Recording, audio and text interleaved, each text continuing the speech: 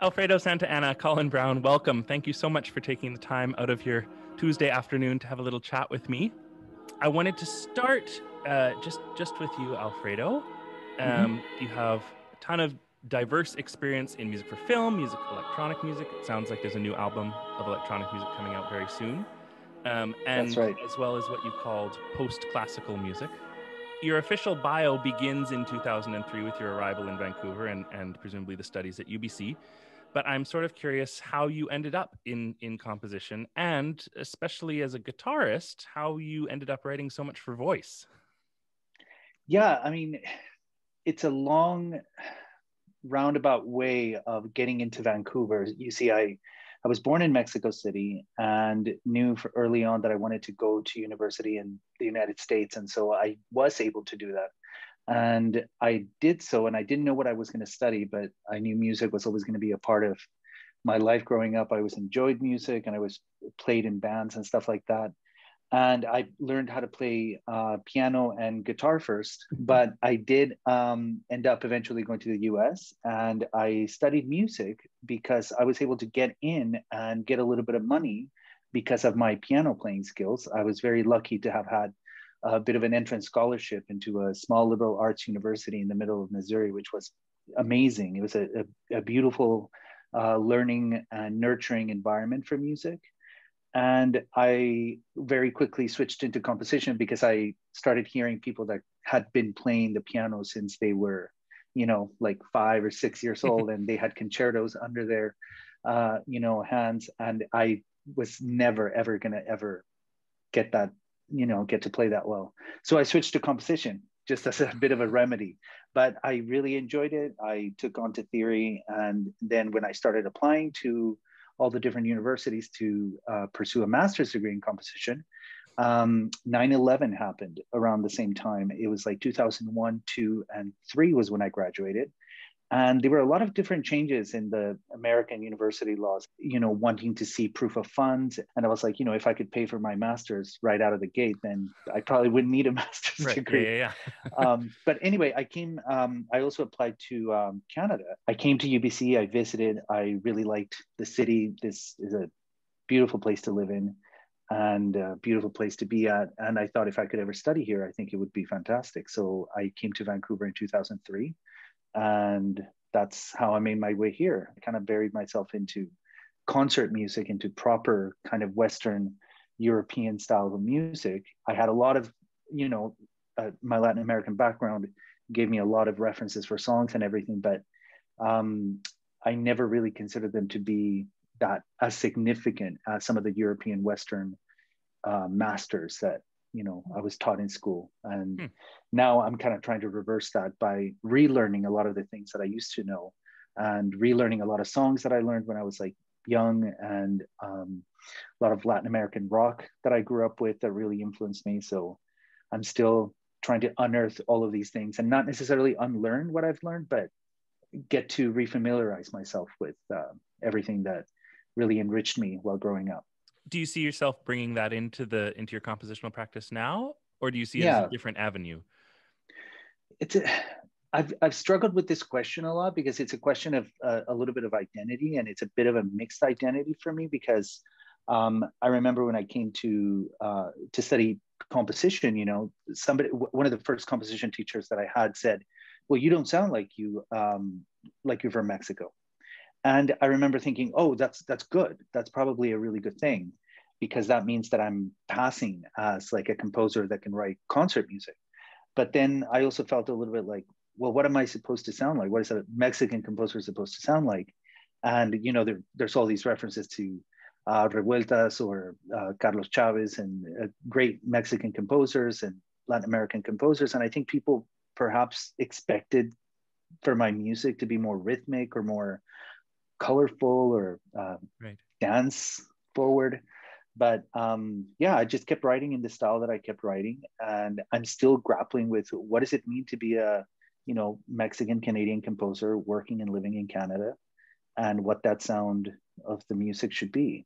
That's such a it's it sounds like a fun path to be on as much as it's it's alarming that you were put on that path in the first place it sounds like an interesting journey It is. Uh, I mean, I'm still trying to figure out what it actually means. You know, I just feel like there's there's a bit of cultural baggage that I I want to embrace, and at the same time, I I tried to push it away for so long because it, it's not like it's cool now, but it really there has been I think a transition for a lot of people to um, to engage with the different hierarchies that I think have been at play and all the different um, privileges that have come with studying, you know, Western concert music or European centered Western music. So, yeah, I think there's just been a reframe lately that I'm really happy about, and I look forward to keep exploring.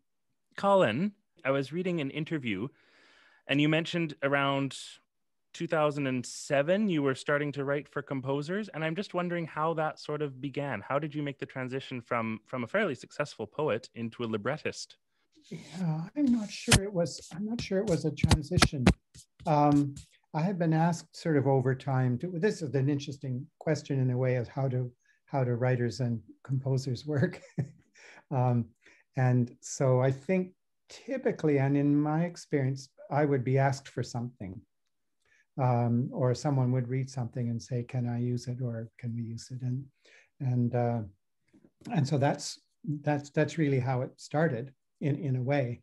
In, in my experience, and I think in the experience of other poets that I know, there's usually a, an ask for a text, and then you never see the composer again for, for a while. And she or he might call you up and say, "What does this word mean?" and "What does that word mean?" And you think, "Oh, that's an interesting question. That's a why did I use that word?" And then you have those conversations, and then you kind of hear the final uh, composition when you go to the launch. And so that's that was more or less my experience most most of the time I'd, I'd have to say. And then so when when you started working with alfredo how did your guys' first collaboration come about? Um, well music on main's office was in the same building where my little studio is huh. uh, at main and kingsway. And i'd known david pay for some time. And so i would stop by the office on my way out for coffee or on my way back and just gossip a bit with them. And that's how I met Alfredo. Uh, so I got to know him a little bit. Then uh, we also, somewhere in there, we did the Orpheus project. Remember, Alfredo? We had fun doing that. That was oh, it was really, very fun. I thought ter- terrific experience. And uh, Alfredo and and I remember, I don't know if you remember this, Alfredo, but at a certain point, we, you were working on the on the sort of main theme for, for the piece. Mm-hmm. And I remember feeling bold enough to come up to you, but not knowing what you'd think and saying, I think you should stop here. I think, I think, I think you can end here. I don't remember that. Yeah, um, and and uh, because you're sort of going to go through it one more time, kind of thing. Yeah, yeah, yeah. Easiest way to put it. The the Orpheus project was this uh, awesome immersive project that Music on Main did back in 2014, and at the end, I remember you and Dave, um, Colin, you and Dave were talking about uh, doing a big sort of moment at the end um, mm-hmm. with a Handel aria, and it was the sort of basis for this finale. So I took a motive of the Handel aria and I recomposed it for the ensemble that was like prepared for the Orpheus project. And Colin translated, or you created an original text, right? Called For Pity Divine. yeah. So the aria takes on this completely different meaning because it's sung in English and it has to do with Orpheus and it has to do with, you know, all this beautiful ending to like a, an immersive musical theater type of evening. And I was a little bit not necessarily um, I don't remember the moment. If you ask me, like, why don't we just end it there? But I probably was super happy because I was like, oh, good, less music. Let's let's just do it once through, and that's it. I'm I'm always open to suggestions, and working with Colin has been um, really great in that way because I think that any I feel really bad sometimes for like you know librettists and poets whose words are taken by somebody else and then chopped up you know chopped up in a way that ah, this, I'm just going to cut this word here. I'm going to cut this stanza, or I'm really going to take a long time here and not too long over here. Because then it's it's somebody else's work, and I feel like when I get feedback from Colin, I I get to make the piece better. And there's relationships between text and music that actually function mm-hmm. better because I don't know there is everything there is to know about words and let alone music. So it's it's always good to have a collaborator rather rather than a you know just a person in one end of the of the process and then me coming in to complete it. And then this this piece for Musica Intima, when we approached you, Alfredo, I think it was you who brought Colin into the conversation from the get go, and you both decided yeah. that you wanted to do it a little differently, right?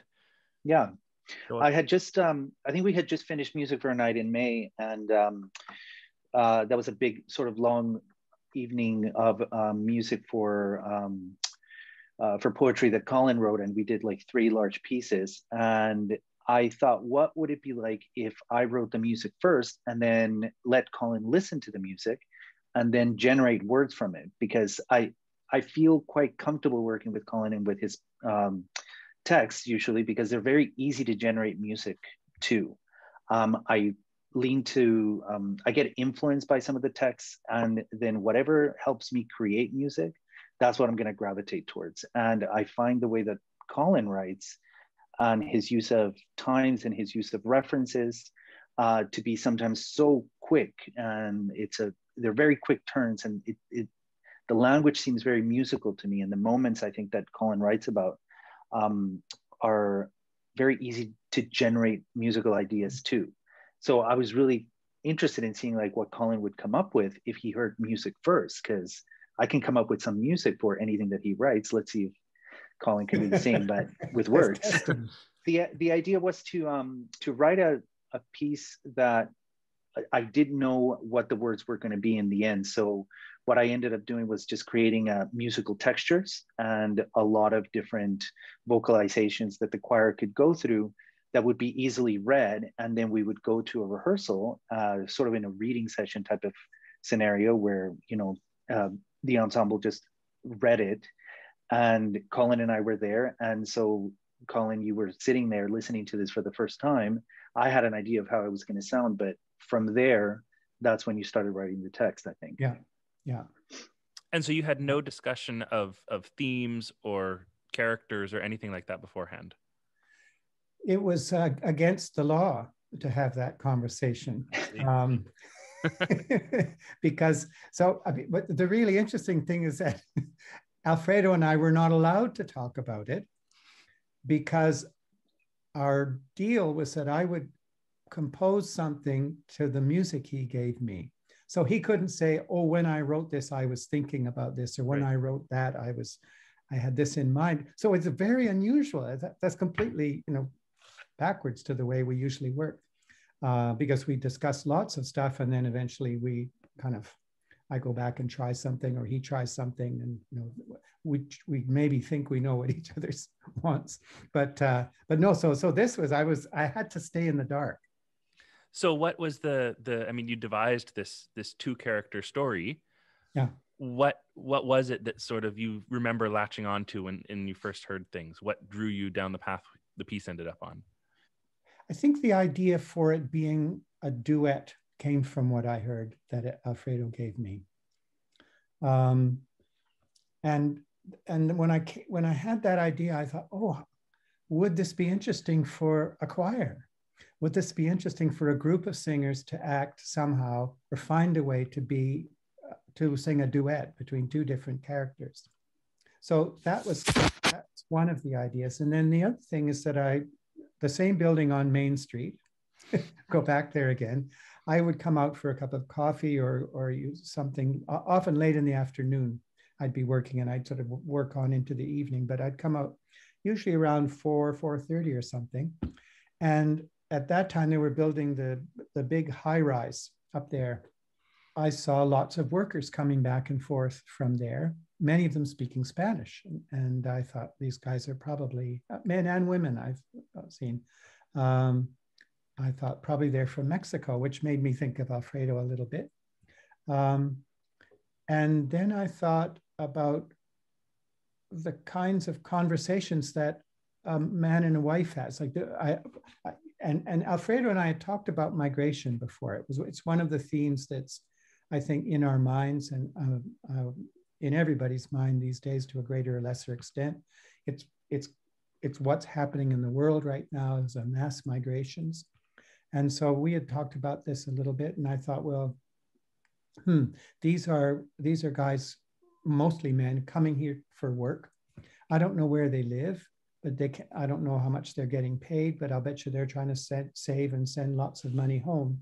And so they, and I don't know if many of them have citizenship or what their situation is.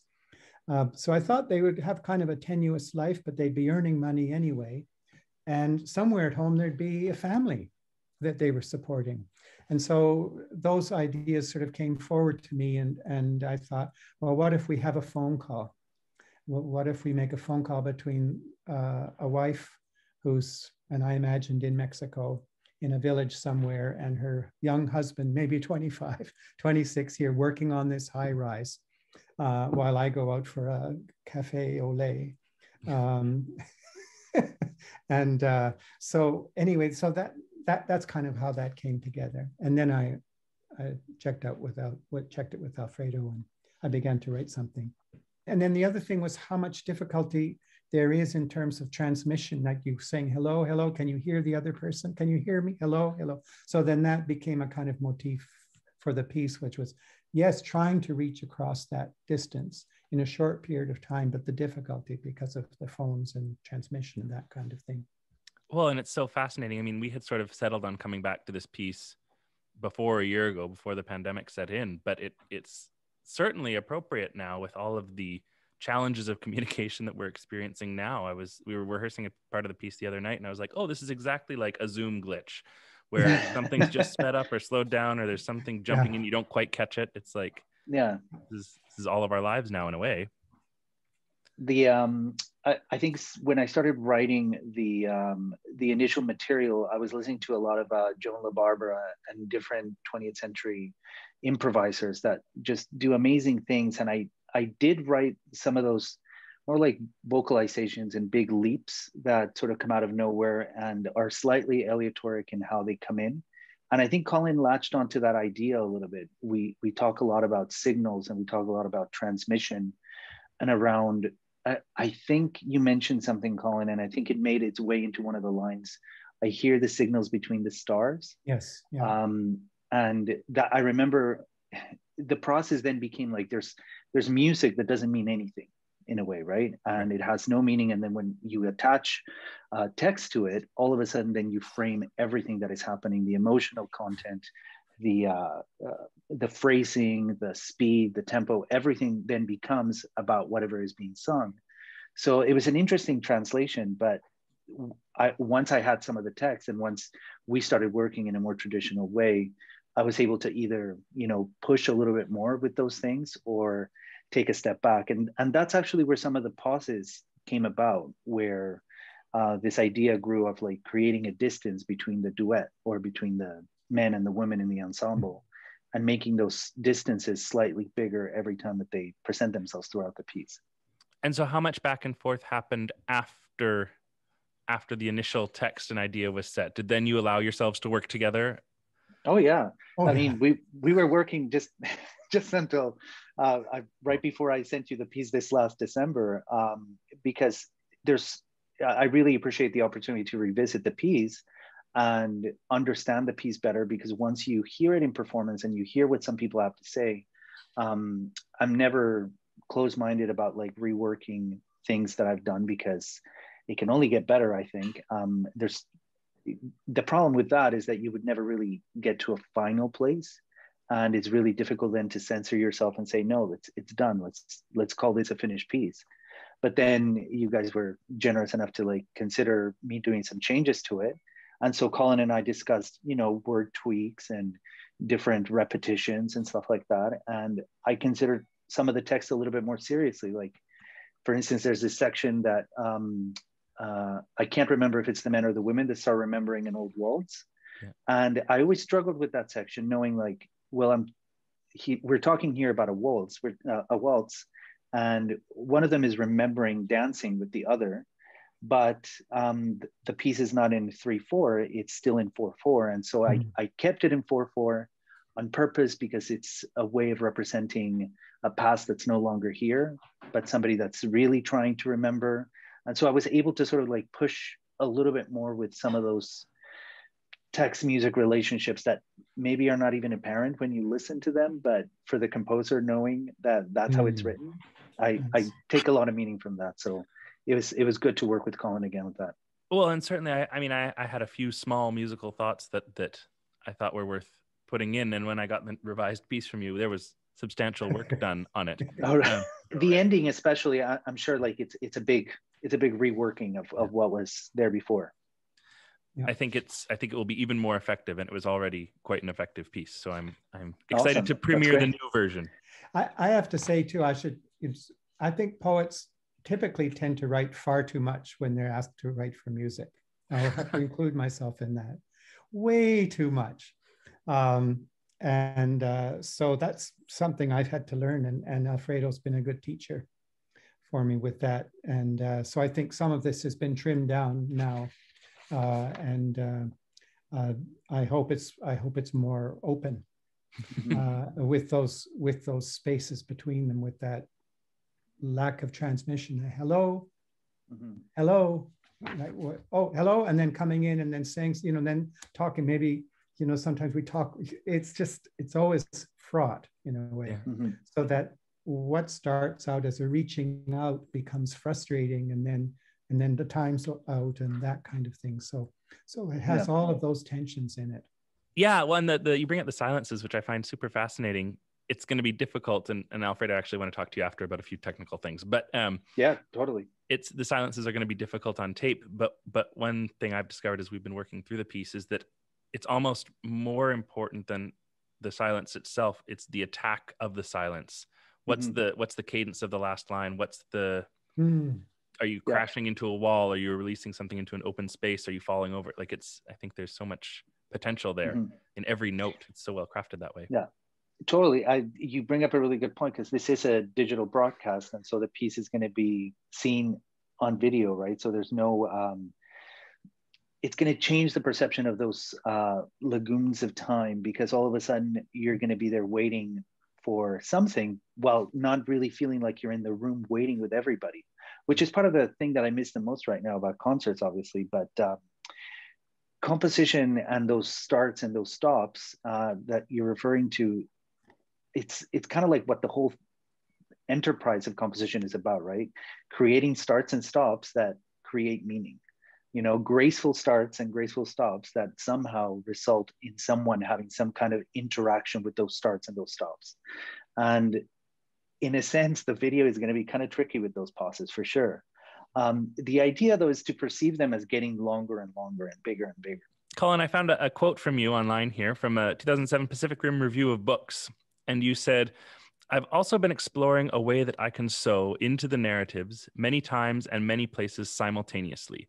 What that means is being able to identify the temporal and geographical intersections I'm the sum of, intersections, by the way, that continue to accumulate voluntarily and involuntarily, and which are inseparable from language. Mm. And so I'm wondering if that's you're talking about yourself there and specifically about a, a book that was semi autobiographical at least but i wonder if you find that interesting in looking at other people's stories as well and and how that found its way into this text and into this piece hmm. That's a, that's a good question. I mean, I still in my my recent book, um, there's there's a great deal. I I feel the past is always immediately in the present, with the present. That's I I don't. It's not that it's compressed. It's not that it, it's a pancake, but that I really don't I don't get past and I mean and and present perhaps in the way we like to think of as a as a linear thing. So to me, the the the, the moment we're in is already saturated with lots of things. Mm-hmm. Uh, and and uh, as a life is and as language is because language what's what's more saturated than language in many respects uh, the, the way we understand words and well i could go on for a long time. So um, i think in in this one in in this one you have these two you know you have two people that are very far away in terms of distance. They're very close in terms of their hearts but they can't how can they express they can't touch one another. Uh, and and the, the equipment keeps cutting out. Uh, and so they're both present and not present. Um, and and that's that's kind of brought home in that sense. They've got each other in in their imaginations. They're in each other's lives. But whenever they try to really connect up, something happens and changes it. It's about two people who are intimately wrapped together and yet can't can't really touch one another because of distance, but also because of economies, also because of capitalism, also because of the nature of the migrant worker. Uh, and when you look at all the when you look at all the great buildings, buildings that tourists go and look at were made by slave labor um, or, or by migrant labor. And yet we go and say, oh, look at this glorious building. Or as we know in England, you go and look at a great house in England if you're so inclined. And it was all built essentially on the backs of slaves. Uh, and so, in a sense, this piece is also about that, about how circumstance, economic circumstances where you happen to get born, be, be born, uh, and into what class you were born, sends this guy up to work in Vancouver uh, on this building. Luckily, there are other guys like him. Uh, perhaps that helps a bit, but um, it's so it, it's also about all of those market forces, all of the ways that um, that one group of people use another group of people. it does. The piece does have a few sort of extended vocal techniques, Alfredo. So I wonder if you would give us just a little primer on some of some of what you're expecting the voices to do and what you were hoping to portray through that. Oh, um, you know, as, as I mentioned before, I think I was listening to uh, Joan La Barbara do all these fantastic improvisations and vocalizations that, um, you know, similar to Jan DeGaetani and other um, singers were very fluid and very um,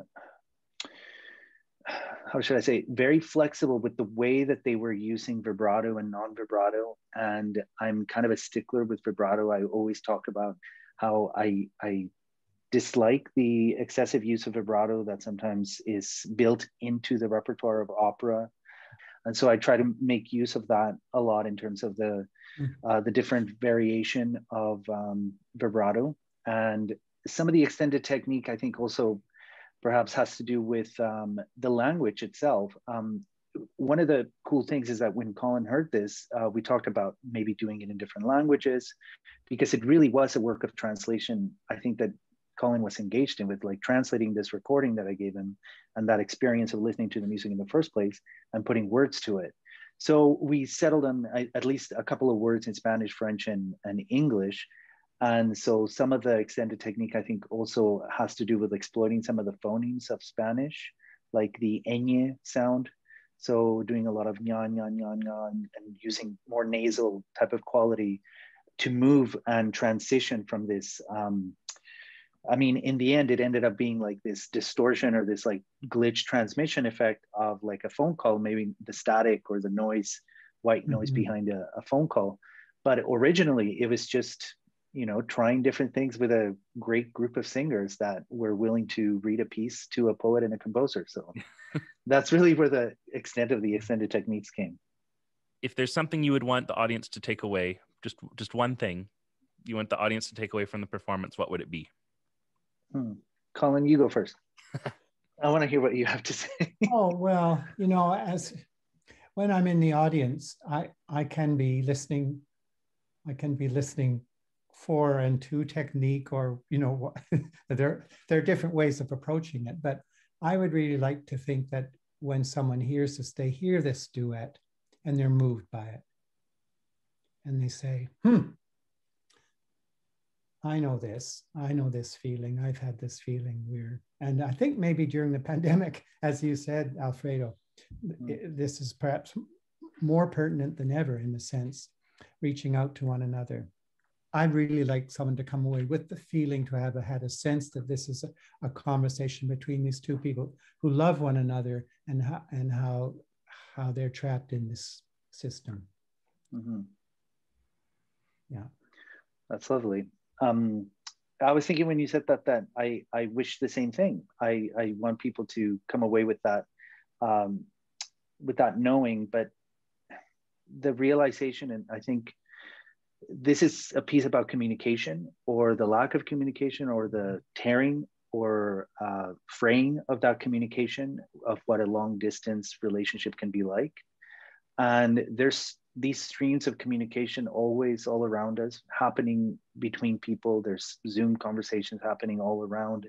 there's um, communication even when we're all together there's certain looks body language that everybody's communicating all at the same time and there's some really wonderful streams of communication that i think we all ought to be uh, listening for mm-hmm. and and in some way not necessarily enjoying i don't think it's a I don't, I don't think like enjoyment out of this stream of communication is a is a goal or an objective but just just paying attention to the different streams of communication that are always going on around us uh, just makes us i think more um, accountable for mm-hmm. what it is that we're communicating and what it is that we're hearing which is a lot i think to try to get out of a listening of a piece well but that's but, the two uh, that's the two sides of the piece right it's the emotional punch but also the the observing and and sort of the clinical observation yeah. of what's going on and yeah.